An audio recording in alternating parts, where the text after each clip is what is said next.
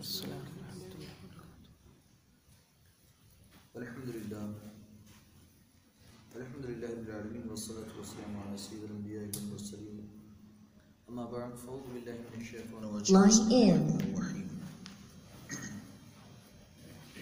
حافظوا على الصلوات والصلاة الوسطى وقوموا لله قانتين صدق الله العلي العظيم. وبلغنا رسوله النبي الأمي الكريم ونحن على ذلك لمن الشاهدين والشاكرين والحمد لله رب العالمين. گزشتہ اتوار میں سورہ بقرہ کی آیت نمبر دو سو اڑتیس کے تعلق سے کچھ باتیں کی تھی رب تعالیٰ قرآن پاک میں ارشاد فرماتا ہے، حافظو علی الصلوات والصلاة الوسطى تم نمازوں کی حفاظت کرو۔ حافظو علی الصلوات، نمازوں کی حفاظت کرو۔ یہ نماز جیسا کہ میں نے گزشتہ اتوار بیان کیا تھا کہ دین کا اہم رکن اتنا اہم کہ شہادتین کے بعد، کلمہ شہادت کے بعد سب سے اہم رکن ہے۔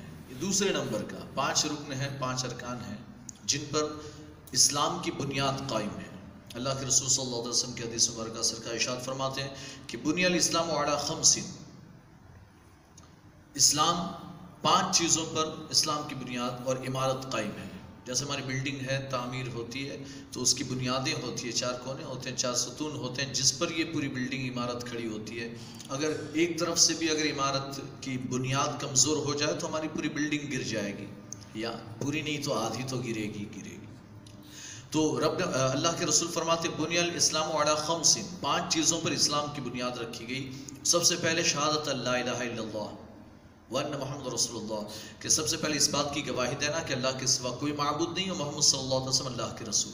پھر دوسری بات، کہتے ہیں اقام الصلاح یا اقام الصلاح یا اقام الصلاح وہ مختلف اعراب ہے لیکن بہرحال اقام الصلاح نماز قائم کرنا۔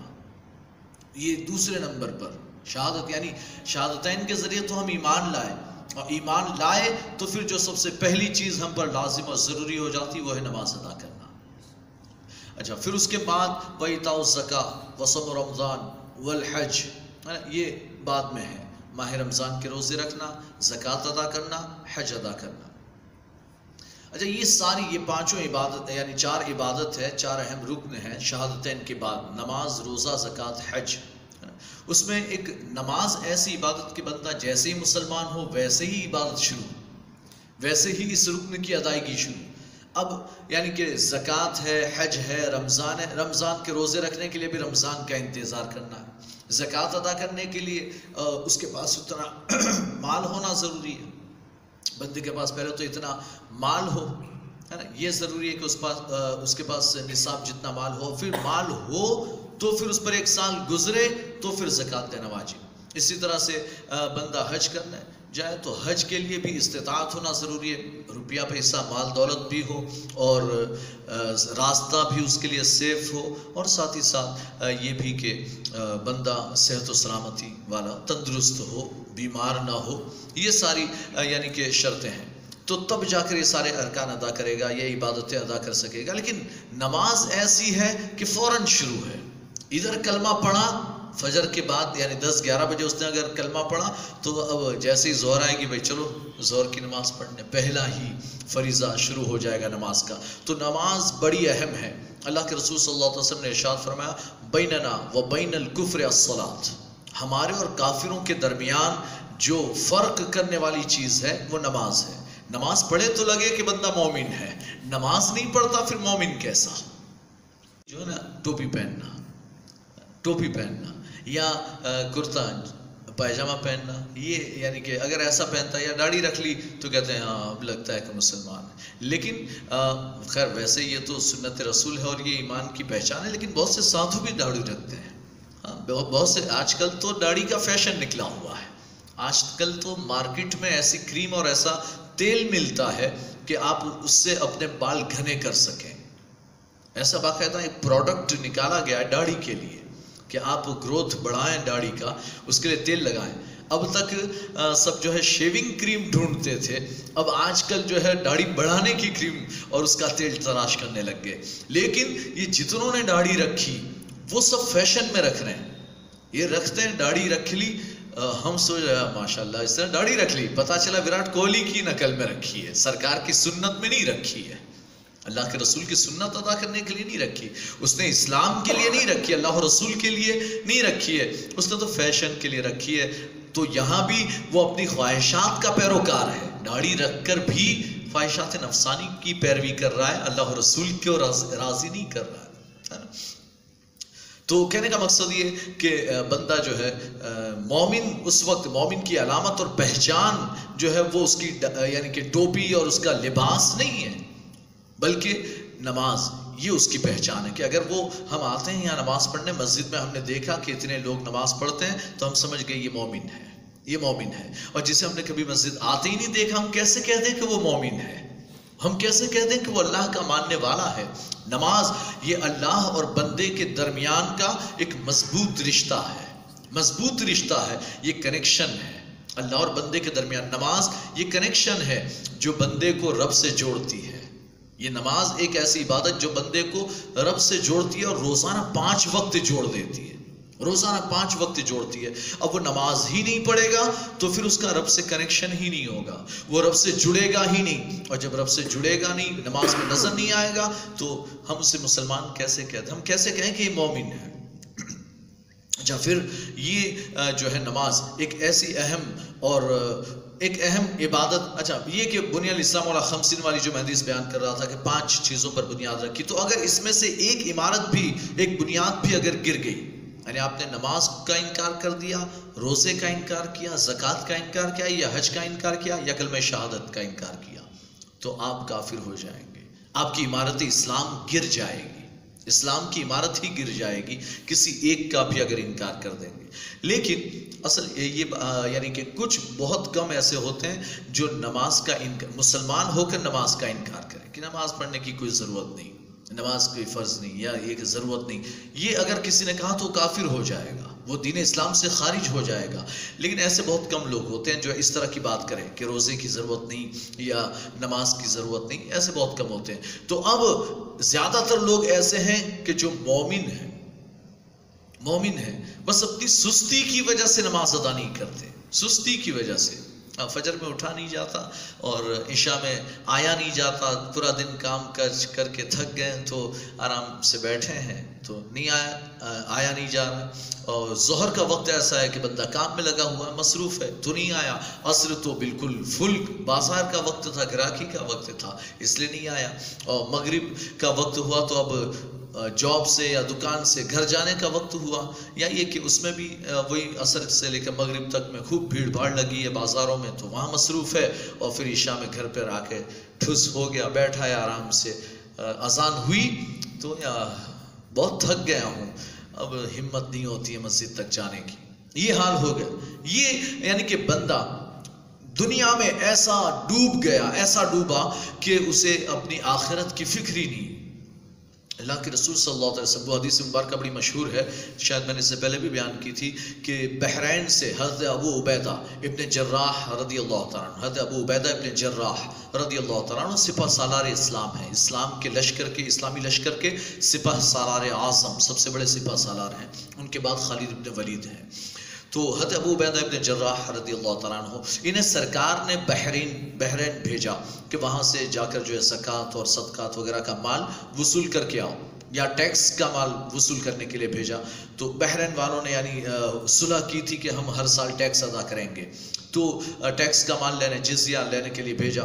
تو جب وہ گئے اور جا کر واپس آئے، تو انصاری صحابہ کچھ انصاری صحابہ کچھ تو وہ تھے جو مسجد نبوی کے قریب رہتے تھے، وہ مسجد نبوی میں نماز پڑھتے، کوئی کسی کا محلہ وہاں دور تھا، جیسے گاڈا چالے گھلکڑی ہے، تو یہ دور دور کے محلے تھے، انہوں نے اپنے محلوں میں مسجدیں بنائی ہوئی تھی وہ اپنے اپنے محلوں میں نمازیں ادا کر لیا کرتے تھے، سب یعنی پانچوں وقت مسجد نبوی میں نہیں آتے تھے، وہ اپنے اپنے محلے میں ادا کر لیتے تھے۔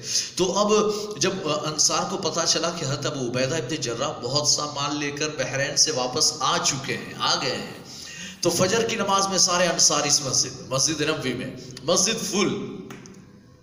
سرکار نے سلام پھیرا، دیکھا کہ ہاں انصار سب جمع ہوئے تو سرکار مسکرائے۔ اور پھر اس کے بعد سرکار نے فرمایا کہ یعنی جب سرکار پلٹے، نماز پڑھ کر واپس پلٹنے لگے تو انصار نے آپ کو گھیر لیا۔ سرکار مسکرائے، فرمایا کہ، اے انصاریو، جس کی تمہیں امید ہے نا، تمہیں خوشخبری ہو کہ جس کی تمہیں امید ہے وہ تمہیں ملے گا۔ ہاں تم خالی ہاتھ نہیں جاؤ گے، بہت مال آیا، ملے گا۔ ہاں تو جس کی تمہیں امید ہے وہ تمہیں ملے گا، خوشخبری ہو تمہیں۔ لیکن پھر آگے سرکار ارشاد فرماتے ہیں، نصیحت فرماتے ہیں، آقا ارشاد فرماتے ہیں، اے میرے صحابہ، مجھے میرے بعد، میں دنیا چھوڑ کر چلا جاؤں گا، تو مجھے میرے بعد تم پر شرک کا خطرہ نہیں مجھے اپنی امت پر میرے بعد شرک کا خطرہ نہیں کہ وہ مشرک ہو جائے گی، وہ پھر سے بت پرستی کرنے لگ جائے گی، وہ کفر و شرک میں مبتلا ہو جائے گی۔ مجھے تم پر یہ خطرہ نہیں ہے۔ ہاں خطرہ یہ ہے کہ کہیں تم دنیا میں ایسے نہ ڈوب جاؤ جیسے تم سے اگلی امتیں ڈوب گئی۔ کہ ان پر دنیا کشادہ کی گئی تو وہ دنیا میں ایسے ڈوب کر غافل ہوئے کہ اللہ کو بھول گئے، فراموش کر گئے، اللہ کی عبادت چھوڑ دی۔ اور ایسے ہی کہیں تم پر بھی جب دنیا آج تو تنگی کے حالات ہیں۔ آج تو سختی کے حالات ہیں، آج تو پریشانی اور مصیبتیں ہیں۔ آج تو مال کے لیے ہم ترس رہے ہیں۔ آج تو مسلمانوں کا حال یہ ہے کہ یعنی سرکار کے زمانے کی بات، کہ وہ مال کے لیے ترس رہے ہیں۔ ان کے پاس مال و دولت نہیں ہے اور کھانے پینے کے لیے بھی مشکلات کا سامنا ہے۔ کیسی مشکلات، کھانے پینے کی مشکلات آپ اندازہ کریں کیسی ہوگی کہ پورا مدینہ ہے، پورا مدینہ، اس میں اتنے سارے مسلمان بستے ہیں، لیکن ان کا حال یہ ہے کہ جب خندق کھودی جا رہی ہے، خندق، سر ہجری چار چار میں، سر ہجری چار میں، خندق کھودی جا رہی ہے کفار مکہ دس ہزار کا لشکر لے کر مدینے پر حملے کے لیے آئے۔ تو خندق کھودی جا رہی تھی، سرکار نے یعنی لکیریں کھینچ کھینچ کر حصے بنا دیے۔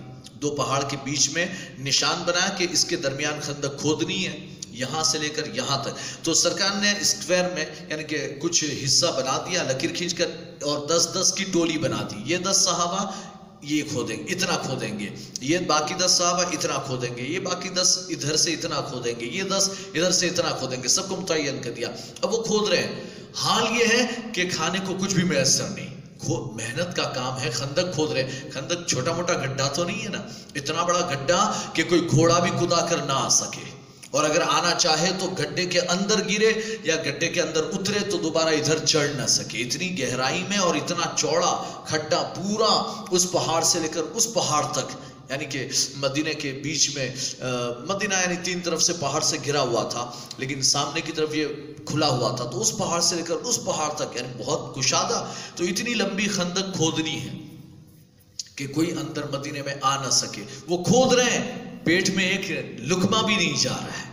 بھوکے پیاسے ہیں۔ حال یہ ہوا کہ بہت بھوک لگی، بہت زیادہ حالت خراب ہوئی۔ خندق کھودتے کھودتے دو یعنی تین چار دن گزر گئے کھانا نہیں کھایا، بھوکے ہیں اور کمزور ہو رہے ہیں۔ تو اب حال یہ ہو گیا کہ سڑی ہوئی چربی۔ جس میں سے بدبو آ رہی تھی، بدبو آ رہی تھی۔ اس سڑی ہوئی چربی میں یعنی پڑی ہوئی تھی، بدبو مار رہی تھی، اس میں آٹا ملا کر اسے گھوم کر پھر اسے کھایا گیا۔ اسے کھایا گیا۔ کہتے ہیں وہ کھا رہے تھے تو حلق سے نیچے نہیں اتر رہا تھا، پھنس رہا تھا۔ کیسے اترے گا؟ وہ بدبودار چربی میں ملا ہوا یعنی کہ ملی ہوئی سوکھی روٹیاں۔ تو یہ کھا رہے ہیں اور حلق سے اتارنے کی کوشش کریں اتر نہیں رہا۔ اتنی یعنی تکلیفیں ہیں۔ اتنی تکلیف ہے۔ حضرت ابو حریرہ کا حال میں نے آپ کو بیان کیا تھا کہ حضرت ابو حریرہ حال کا حال یہ تھا کہ اوٹے پر، چبوترے پر، مسجد نبی کے چبوترے پر بیٹھتے کھانے کو کچھ بھی میسر نہیں تھا۔ لیکن کبھی اللہ کے رسول کی بارگاہ میں کچھ کھجوریں آ جاتی تو سرکار کھلا دیتے، دودھ آ جاتا تو پلا دیتے۔ یہ حالات اتنے خراب حالات تھے۔ اور کبھی تین چار دن ہوئے، کچھ کھایا ہی نہیں، کچھ کھایا ہی نہیں۔ تو پھر کسی مالدار کے گھر چلے جاتے، بھائی کچھ کام ملے گا؟ کچھ کام ملے گا؟ گھر میں کچھ کام ہے؟ اگر کام ہو تو میں کر دوں، کچھ کھلا دینا ہاں؟ وہ کہتے ہیں ہاں بھائی ٹھیک ہے، چلو پانی بھر کے لاؤ۔ کنویں سے پانی بھر لاؤ یا فلاں جگہ سے پانی بھر کے لاؤ یا ہمارے کھیت میں، باغ میں۔ پانی ڈالو، تم کو ہم پانچ کھجوریں دے دیں گے۔ پانچ کھجوروں کے لیے وہ دن بھر محنت کر رہے ہیں۔ دن بھر محنت یعنی کہ پانچ ڈول ڈال رہے ہیں، ہر ڈول کے عوض میں ایک کھجور مل رہی، پانچ کھجور لی، کھائی، کہا چلو اب تھوڑا سا سکون ہوا، اب تھوڑا سکون ہوا۔ حضرت علی نے سرکار کو دیکھا کہ سرکار کئی دن سے فاقہ کش ہیں، آپ نے کچھ نہیں کھایا۔ گھر میں چولہا بھی نہیں جلا۔ حضرت عائشہ فرماتی ہے کہ سرکار کے گھر میں مہینہ مہینہ چولہا نہیں جلتا تھا۔ کچھ ہو تو بنایا جائے۔ پکانے کے لیے کچھ ہے ہی نہیں۔ تو اس حال میں حضرت یعنی سرکار کھجور آ جاتی تو پھر وہ کھجور کھاتے، تھوڑا سا پانی پی لیتے۔ ایک کھجور اور پانی، ہو گیا کھانا۔ دوپہر کا کھانا ہو گیا۔ رات کا کھانا ہو گیا، ایک کھجور اور پانی پر اکتفا ہو۔ یہ حالات تھے۔ تو اللہ کے رسول صلی اللہ علیہ وسلم کے کو دیکھا کہ کافی دنوں سے، تین چار دنوں میں سرکار نے کھانا نہیں کھایا، فاقہ کش ہے، آپ کو بھوک لگی ہوئی ہے۔ اور حت علی نے جب سرکار کی یہ حالت دیکھی تو حت علی سے رہا نہیں گیا۔ حضرت علی اٹھے، اٹھ کر گئے ایک یہودی کے باغ میں۔ اس یہودی سے کہا کہ مجھے یعنی کہ کچھ کھجوریں چاہیے، میں تمہارے باغ میں کام کر دیتا ہوں، پانی ڈال دیتا ہوں۔ اس نے کہا، ٹھیک ہے وہ کنویں سے پانی نکال کر میرے باغ میں پانی ڈالو، ایک ایک ڈول کے بدلے ایک کھجور دوں گا۔ جانا ہے، پانی کھینچ کے نکالنا ہے، لے جا کر باغ میں ڈالنا ہے، درختوں پہ ڈالنا ہے۔ اور جب اسے ڈال دو گے، ایک ڈول کے بدلے ایک کھجور۔ حضرت علی نے سترہ ڈولے نکال کر باغ میں ڈالی، سترہ کھجور لے کر بارگاہ رسالت میں حاصل ہوئے۔ یا رسول اللہ، یہ میں سترہ کھجوریں لے کر آیا ہوں۔ یا رسول اللہ، اب تناول فرمائے اسے کھائیں۔ سرکار نے فرمایا، علی، لگتا ہے تجھے مجھ سے محبت ہے۔ یعنی، کہاں سے لایا تو کہا کہ میں گیا تھا یہودی کے یہاں، اس کے یہاں یہ محنت، مشقت کی۔ سترہ ڈولیں میں نے کنویں سے نکال کر اس کے باغ میں ڈالی اور یہ سترہ کھجور لے کر آئے ہوں آپ کے لیے۔ آپ تناول فرمائیں۔ سرکار فرماتے ہیں، علی لگتا ہے تو اللہ رسول سے بڑی محبت کرتا ہے۔ تجھے مجھ سے بڑی محبت ہے۔ کہا ہاں یا رسول، آپ سے بہت محبت ہے۔ اللہ رسول سے محبت کرتا ہوں۔ سرکار فرماتے تو اے علی، فقر و فاقہ کے لیے تیار فقر و فاقہ کے لیے۔ یعنی اگر مجھ سے محبت کرے گا تو پھر تو تجھ پر مصیبتیں بھی آئے گی، تجھ پر فقر و فاقہ بھی آئے گا، تجھے کئی دن بھوکا بھی رہنا پڑے گا اور تجھے یعنی کہ بھوکے پیاسے دن اور رات گزارنے پڑیں گے۔ یہ میری محبت کی علامت ہے۔ مجھ سے جو بھی محبت کرتا ہے وہ مصیبتوں میں گرفتار کیا جاتا ہے۔ لیکن کامیاب تو وہی ہوتا ہے جو صبر کر جاتا ہے۔ کامیاب وہ ہوتا ہے جو صابر ہوتا ہے۔ صبر کرتا ہے تو پھر وہ کامیاب ہوتا ہے۔ تو اتنے خراب حالات، سرکار فرماتے ہیں کہ ابھی حالات خراب ہیں، لیکن میں دیکھ رہا ہوں، میری نگاہیں دیکھ رہی ہے تم کیسر کو بھی فتح کرو گے، تم کسرا یعنی سلطنت روم کو تم اپنے پیروں ترے رون ڈالو گے، ان کے تخت و تاج پر تمہارا قبضہ ہوگا، تم کسرا یعنی ایران جو سپر پاور ہے، روم جو سپر پاور ہے، ان پر تمہارا قبضہ ہوگا، ان کے خزانے تمہارے ہوں گے، تو یہ حال ہوگا، تو مجھے خوف تو یہ ہے کہ کہیں تم دنیا میں یعنی مال و دولت آ گئے، مال و دولت کے انبار لگ گئے، اب تم پوختہ پوختہ محلات اور بنگلے بنانے میں لگ گئے، تم عمارتیں بنانے میں لگ گئے، اچھے گدے اور بستر آ گئے، تو اس پر آرام سے لیٹ کر سونے میں لگ گئے، تم غافل ہو جاؤ، اللہ کے گھر میں نماز کے لیے نہ ہو، تم نمازوں کو برباد کرو، چھوڑ دو، ضائع کر دو، اللہ کے حقوق کی ادائیگی نہ کرو، مجھے اس بات کا تم پر خوف ہے، مجھے یہ خوف ہے۔ حتی ابو حریرہ کا میں حال بیان کر رہا تھا کہ وہ اتنا یعنی برا حال تھا کہ وہ کسی کے گھر جاتے اور کام مانگتے اور پھر وہ کھانا کھایا کرتے تھے۔ انہیں کچھ دے دیا جاتا تھا۔ ایک یعنی حت ابو حریرہ خود فرماتے، میں نے اس سے پہلے بھی آپ کو بیان کیا تھا۔ حت ابو کہتے ہیں کہ میں ایک مالدار کا گھر تھا ان کے گھر جاتا اور کام مانگتا، وہ کام دیتے اور کچھ کھلا بھی دیتے تھے۔ اگر وہ کبھی سفر پر جا رہے ہوتے یعنی کسی پکنک پر یا سفر پر جا رہے ہوتے، تو مجھ سے کہتے کہ ابو حریرہ ہمارے ساتھ چلے گا نوکر کے طور پر۔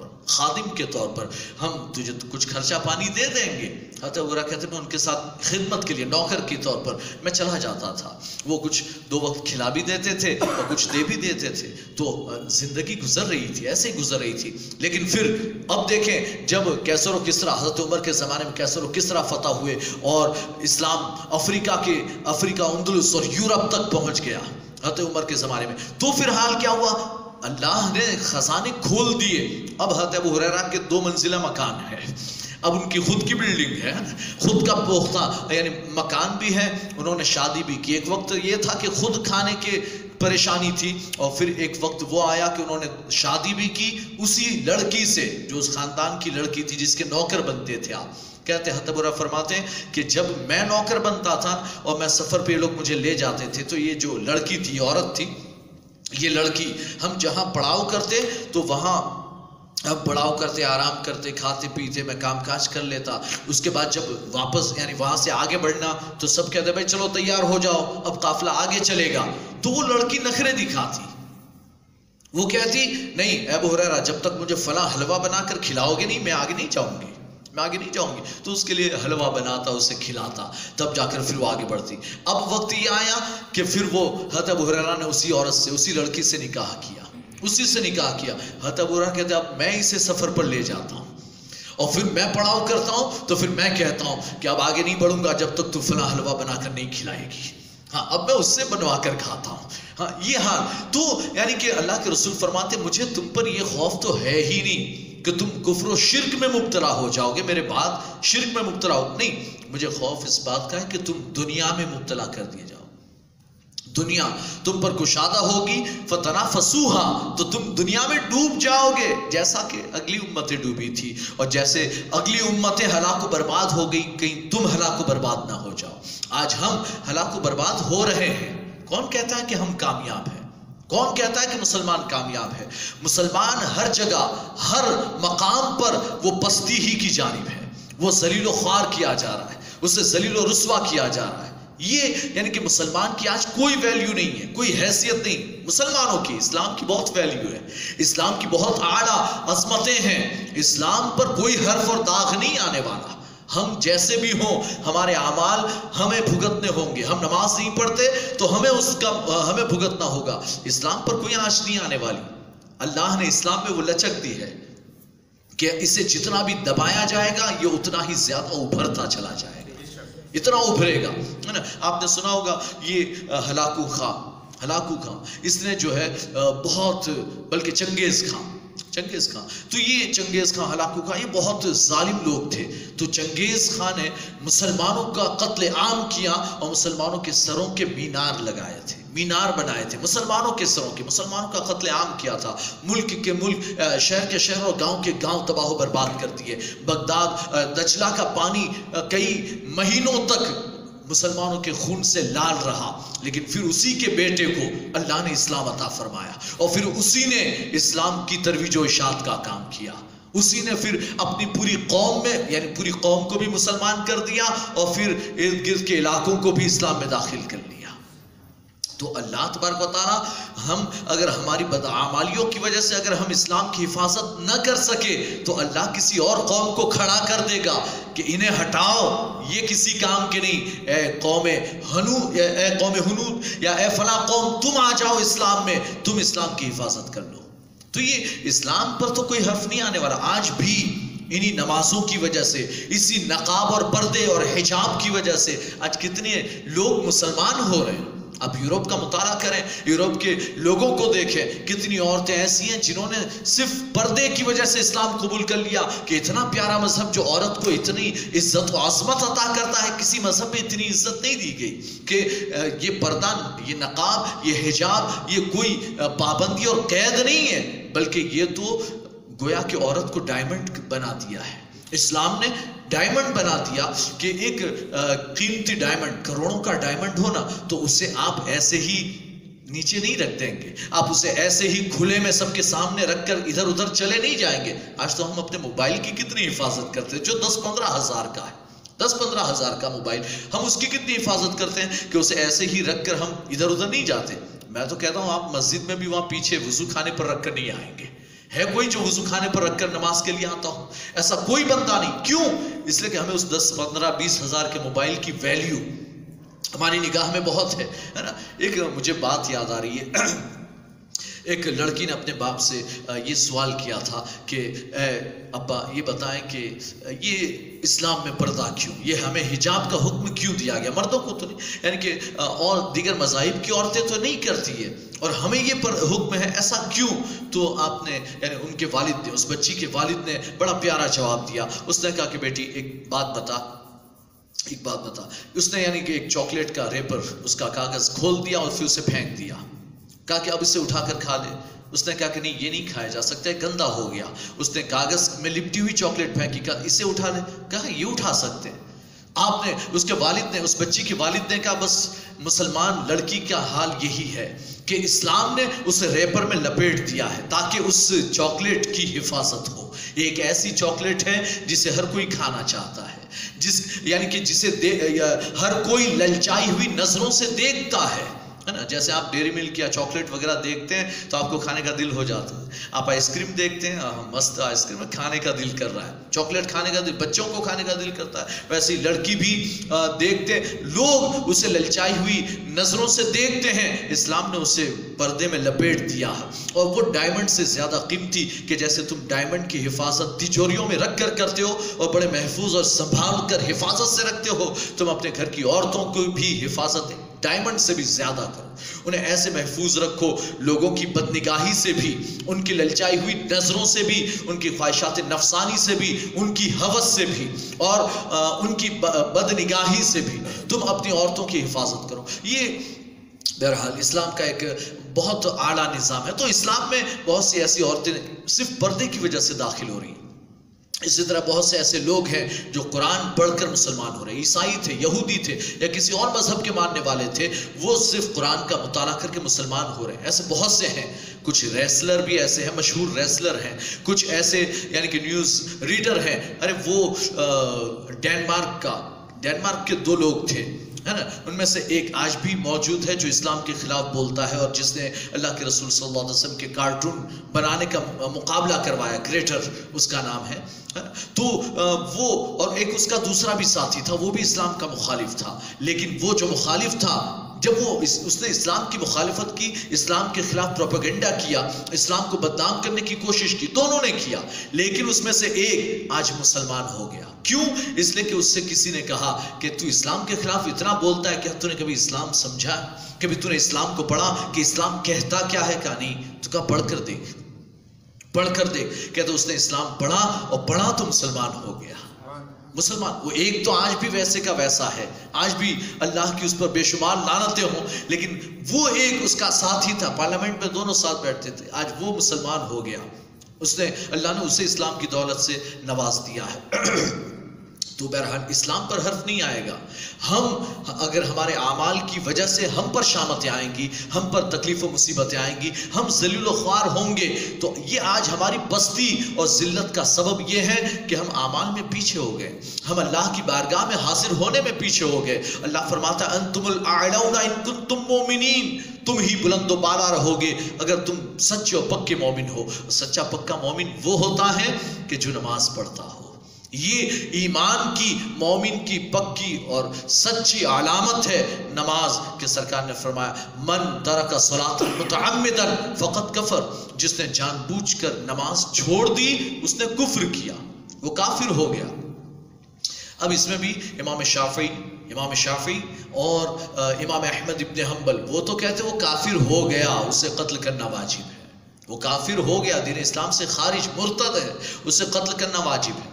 امام مالک کہتے ہیں کہ اسے حد کے طور پر یعنی وہ مسلمان، مومن تو رہے گا، لیکن حد کے طور پر اسے قتل کیا جائے گا۔ حد معنی سزا کے طور پر قتل کیا جائے گا۔ ایک ہمارے امام امام اعظم ابو حنیفہ رضی اللہ تعالیٰ عنہ ہیں، آپ فرماتے ہیں کہ اسے قید کیا جائے گا۔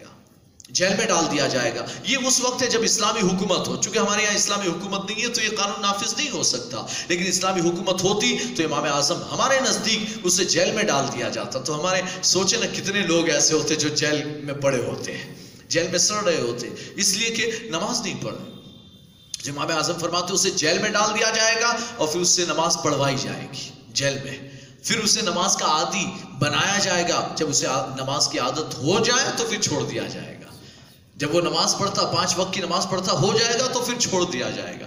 تو سوچے نا ہم میں سے کتنے ایسے ہیں کہ جن کو اچھا پھر اللہ کے رسول کے حدیث مبارکہ سرکار اشاعت فرماتے ہیں کہ نمازوں میں سستی نہ کرے گا، مگر منافق منافق۔ اور اللہ نے قرآن میں بھی منافقین کی علامت یہ بیان فرمائی کہ قامو کسالہ قامو الصلاۃ کسالہ یہ نماز کے لیے سستی کے ساتھ کھڑے ہوتے نماز تو پڑھتے ہیں، لیکن سستی کے ساتھ۔ تو ایسے اگر ہمارے درمیان بھی یا تو سستی کی وجہ سے پڑھتے ہی نہیں ہے تو منافقین میں چلے گئے۔ منافقین میں چلے گئے۔ یا یہ کہ نماز تو پڑھتے لیکن بڑی سستی کے ساتھ۔ تو پھر وہ منافقین میں۔ یہ اور بات ہے کہ پھر اس پر بھی کلام ہے کہ منافق سے مراد وہ منافق نہیں ہے۔ لیکن یہ چاہے کافر کہا ہو حدیث میں، چاہے منافق کہا، اس سے مراد یہ ہے کہ اس نے منافقوں جیسا کام کیا۔ اس نے کافروں جیسا کام کیا۔ یہ مومن کی شان نہیں کہ وہ نماز چھوڑ دے۔ مومن کی شان یہ ہے کہ وہ پانچ وقت بعد جماعت نماز ادا کرے۔ یہ منافق کا کام ہے کہ وہ نماز میں سستی کرے۔ یہ مومن کی شان نہیں ہے۔ تو گویا کہ نماز چھوڑنا یا نماز میں سستی کرنا، یہ منافق یا کافر کا کام ہے۔ مسلمان کا یہ کام نہیں۔ حضرت عبداللہ ابن مسعود رضی اللہ تعالیٰ عنہ کی روایت ہے۔ حضرت عبداللہ ابن مسعود رضی اللہ تعالیٰ عنہ فرماتے ہیں کہ میں نے بارگاہ رسالت میں عرض کیا رسول اللہ ای الاعمال افضل؟ سب سے بہترین اور افضل عمل کون سا؟ اللہ کے رسول نے ارشاد فرمایا، الصلاۃ علی وقتها نماز کو اس کے وقت پر ادا کرنا یہ سب سے افضل عمل ہے۔ یہ سب سے افضل عمل سب سے افضل عمل ہے کہ نماز کو اس کے وقت پر ادا کیا جائے۔ یہ وقت پر یعنی وقت کی پابندی کے ساتھ آپ اس سے، اس کے وقت میں باجماعت ادا کریں، یہ سب سے افضل عمل ہے۔ اور پھر کہتے ہیں، پھر حضرت عبداللہ مسعود کہتے ہیں، میں نے عرض کیا، ثم ایون یا رسول اللہ، یا رسول اللہ، اس کے بعد دوسرا کون سا؟ ثم پھر کون سا؟ تو سرکار نے فرما بر الوالدین، ماں باپ کے ساتھ حسن سلوک کرنا، یہ دوسرے نمبر کا افضل عمل ہے۔ عرض کرتے ہیں حضرت عبداللہ بن مسعود فرماتے ہیں کہ میں نے عرض کیا رسول اللہ، پھر ثم پھر کون سا؟ کہا، الجہاد فی سبیل اللہ اللہ کی راہ میں جہاد کرنا، یہ تیسرے نمبر پر سب سے افضل عمل ہے۔ حضرت عبداللہ بن مسعود کہتے ہیں، میں خاموش ہو گیا۔ اگر میں آگے پوچھتا تو سرکار اور بھی بتاتے۔ لسٹ تھوڑی لمبی ہو سکتی تھی۔ ہاں لیکن میں خاموش ہو گیا۔ میں نے تین جان لیے۔ میں نے کہا، بس کافی ہے، اتنا کافی ہے۔ اللہ کے رسول صلی اللہ علیہ وسلم نے وقت پر نماز کرنے، ادا کرنے کو سب سے افضل عمل کرا دیا۔ اور اللہ کے رسول صلی اللہ علیہ وسلم جو ہے، کی بارگاہ میں حضرت عبداللہ ابن ام مکتوم حضرت عبداللہ ابن ام مکتوم رضی اللہ تعالیٰ عنہ، یہ مدینے میں اذانے بھی دیا کرتے تھے۔ سرکار جب نہیں ہوتے تو نماز بھی پڑھا دیا کرتے تھے۔ کبھی یعنی اذان تو دیا کرتے تھے۔ ہمیشہ رمضان میں وہ فجر کی اذان دیتے تھے۔ رمضان میں فجر کی اذان عبداللہ ابن ام مکتوم دیتے تھے اور سحری کے لیے حضرت بلال اذان دیتے تھے۔ اور سرکار نے فرمایا، بلال کی اذان کہیں تمہیں دھوکہ نہ دے دے۔ بلال کی اذان تو اس لیے ہوتی ہے تاکہ سحری کرنے والوں کو جگا دے۔ جو سو رہے ہیں وہ جاگ جائیں کہ سحری کر لو۔ اور جو لوگ یعنی کہ نمازوں میں مصروف ہیں، انہیں بھی متنبع کرنا کہ حضرت بلال نے اذان دی، سحری کر لو، اب ختم ہو جائے گا وقت۔ تو نمازیوں کو، نماز پڑھنے والوں کے لیے سحری کا یعنی الارام تھا، حضرت بلال کی اذان۔ اور سونے والوں کے لیے بھی الارام تھی۔ حضرت بلال اذان دیتے، اور پھر سرکار فرماتے، جب عبداللہ ابن ام مکتوم اذان دے تو پھر سحری سے رک جاؤ۔ اس لیے کہ وہ فجر کی اذان دیتے ہیں۔ وہ فجر کے لیے بلاتے ہیں اذان دیتے ہیں۔ تو حضرت عبداللہ ابن مکتوم ام مکتوم، یہ نابینا تھے۔ نگاہیں نہیں تھی۔ نابینا صحابی ہیں، صحابی رسول ہیں۔ یہ ایک دن بارگاہ رسالت میں حضر عرض کیا ہے رسول اللہ، صلی اللہ علیہ وسلم، میں نابینا ہوں۔ عرض کرتے ہیں حالانکہ سرکار جانتے تھے، پھر بھی کہتے ہیں، یا رسول اللہ، میں نابینا ہوں۔ اور میرا گھر مسجد سے بہت دور ہے۔ اور تیسری بات، میرے پاس یعنی میرے ساتھ کوئی ایسا آدمی بھی نہیں ہے جو مجھے لے کر آئے، لے جائے، آئے، لے جائے، ایسا کوئی ہے بھی نہیں۔ تو کیا میں اپنے گھر ہی میں نماز ادا کر لوں؟ تو کافی ہے، چل جائے گا۔ میں اپنے گھر ہی میں نماز پڑھ لوں، چلے گا۔ سرکار نے فرمایا تسمع ندا کیا تجھے اذان کی آواز آتی ہے؟ سنتا ہے تو اذان سنتا ہے۔ کہاں؟ اذان تو سنتا ہوں۔ کرنا ہاں اذان کی آواز تو سنتا ہوں۔ سرکار نے کہا پھر مطلب پھر جماعت میں، پھر مسجد میں آ کر نماز پڑھ۔ پھر مسجد میں آ کر نماز پڑھ۔ ہاں تجھے اجازت نہیں۔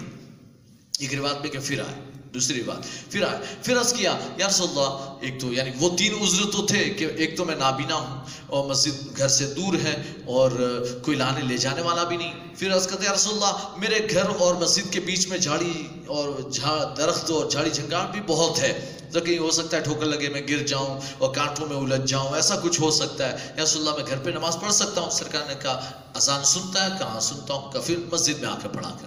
یہ چار پانچ مرتبہ آئے، ہے نا؟ بعد میں پھر دوبارہ آئے، اور اس کے رسول اللہ یعنی یہ پانچ، چار عذر تو ہو گئے، ایک اور عذر بھی ہے میرے پاس۔ رسول اللہ، یہ بیچ میں جھاڑی جنگار ہے اور اتنی دور سے آتا ہوں تو مدینے میں زہریلے جانور بھی بہت ہے بھیڑی وغیرہ، زہریلے جانور بھی ہے تو اگر کوئی نقصان پہنچا دے تو کیا میں گھر پہ نماز ادا کر لوں؟ سرکار نے فرما آزان سنتا ہے کہاں تو پھر آیا کر۔ پھر آئے ایک دن۔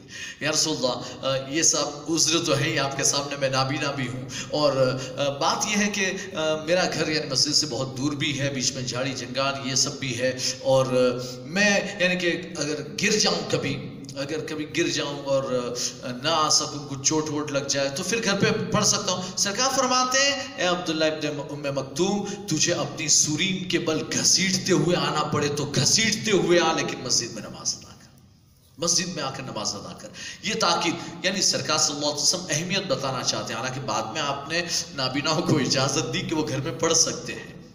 حضرت وحبان ابن مالک رضی اللہ تعالیٰ عنہ برگاہ رسالت میں حضر عرض کے رسول اللہ صلی اللہ علیہ وسلم میں، میری آنکھوں میں کمزوری آ گئی ہے اور میں اپنے محلے کا امام بھی ہوں، محلے میں نماز پڑھاتا ہوں۔ لیکن مسجد اور میرے گھر کے بیچ میں گڈھا ہے جو پانی یعنی بارش میں کبھی بھر جاتا ہے۔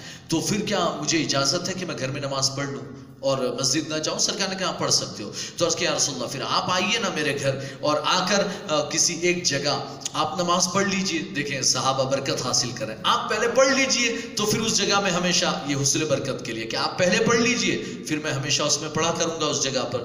تو سرکار فرماتے، ٹھیک ہے، میں آتا ہوں۔ سرکار تشریف لے گئے۔ اب سرکار نے نہیں کہا کہ میرے پڑھنے کی کیا ضرورت ہے۔ اللہ کی، جہاں نماز پڑھے گا، اجازت ہے، پڑھ، جہاں پڑھنی ہو، پڑھ۔ نہیں، سرکار گئے۔ گئے ان کے گھر اور جانے کے بعد آپ نے کہا اچھا بتا، تم پڑھتے کیا ہوں اپنے گھر میں نماز؟ تو کہا کہ یہاں، یہ جگہ بتائی کہ یہاں پڑھتا ہوں روزانہ۔ سرکار نے وہیں پر دو رکعت پڑھی، وہیں دو رکعت پڑھی۔ کہتے ہیں کہ میں نے اسی کو اپنی مسجد بنا لیا۔ اسی کو جہاں سرکار نے نماز پڑھی، اسی کو میں نے اپنی مسجد بنا لی کہ اب جب بھی گھر میں نماز پڑھوں تو اسی جگہ پڑھوں گا کہ وہ سرکار کی برکتیں حاصل ہوگی۔ سرکار کی برکت حاصل ہوگی۔ تو یہ یعنی بعد میں اجازت دی، لیکن کہنے کا مقصد ایک دن اللہ کے رسول صلی اللہ علیہ وسلم حالت غضب میں عشاء کی نماز کے لیے حجر اقدس سے باہر تشریف لائیں دیکھا تھوڑے سے نمازی تھے۔ ہمارے یہاں بھی عشاء میں تعداد کم ہوتی ہے۔ ہاں اور مغرب میں فل ہوتے لیکن عشاء میں تھوڑے کم ہو جاتے ہیں۔ تو سرکار آئے، دیکھا کہ تعداد کم ہے۔ تعداد کم ہے۔ تو سرکار جلال میں آپ باہر تشریف لے گئے۔ اور صحابہ بھی پیچھے پیچھے کہ کیا ہوا کیا ہوا؟ اب سرکار باہر تشریف لے گئے۔ پھر لوگوں کے محلے کی طرف، گھروں کی طرف اشارہ کر کے فرمایا، دل تو یہ چاہتا ہے کہ میں ان کے گھروں کو آگ لگا دوں، آگ لگا دوں۔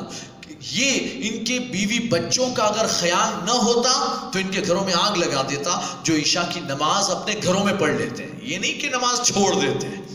آپ یہ اندازہ کریں، صحابہ نماز چھوڑنے والے لوگ نہیں تھے، نماز تو پڑھ لیتے تھے، لیکن پورا دن کھیت میں محنت کر کے پورا دن تپتے ہوئے صحرا میں یعنی تپتی ہوئی دھوپ میں، کھیتوں میں محنت کیے، باغات میں محنت کیے، اب آئے ہیں تو مغرب کی نماز پڑھ کر گئے، گھر کھانا کھایا تو پھر آنکھیں جھونکے شروع ہو جاتے۔ ویسے بھی دیہاتی لوگ پورا دن محنت، مزدوری کا کام کرتے بھی تھک جاتے ہیں۔ میں نے اکثر دیکھا کہ دیہاتوں میں مغرب کی اذان، ادھر اذان، ادھر کھانا۔